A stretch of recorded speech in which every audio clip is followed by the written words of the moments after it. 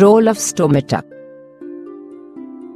Now, let us study how the plant obtains carbon dioxide. In class 9, we had talked about stomata, which are tiny pores present on the surface of the leaves. Massive amounts of gaseous exchange takes place in the leaves through these pores for the purpose of photosynthesis.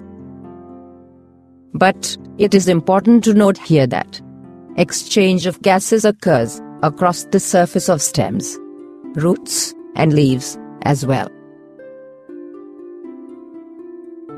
Since large amounts of water can also be lost through these stomata, the plant closes these pores when it does not need carbon dioxide for photosynthesis.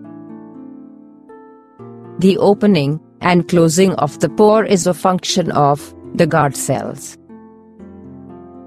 The guard cells swell when water flows into them, causing the stomatal pore to open. Similarly, the pore closes if the guard cells shrink.